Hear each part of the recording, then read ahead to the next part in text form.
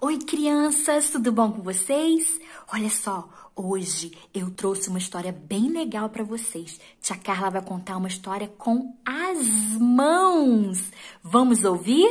Era uma vez dois passarinhos, cada um no seu ninho. O primeiro acordou, abriu as suas asas, se espreguiçou saiu voando e numa cabeça pousou. Fez cosquinha e deu um beijo na ponta do nariz.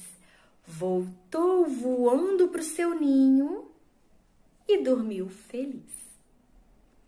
O segundo passarinho acordou, abriu as suas asas, se espreguiçou, saiu voando e numa cabeça pousou. Fez cosquinha, deu um beijo na ponta do nariz e voltou voando para o seu ninho e dormiu feliz. Os dois passarinhos acordaram, abriram as suas asas, se espreguiçaram e deram um delicioso abraço juntos voando e numa cabeça pousaram, fizeram cosquinha e deu vários beijos em vários narizes. E juntos voltaram para os seus ninhos e dormiram felizes.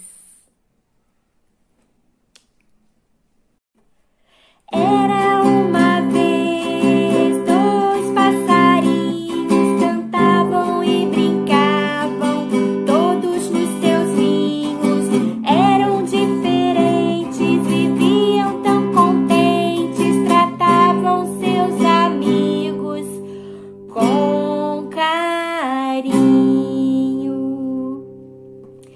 Vocês gostaram da história?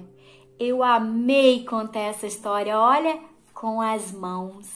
Até a próxima, tá?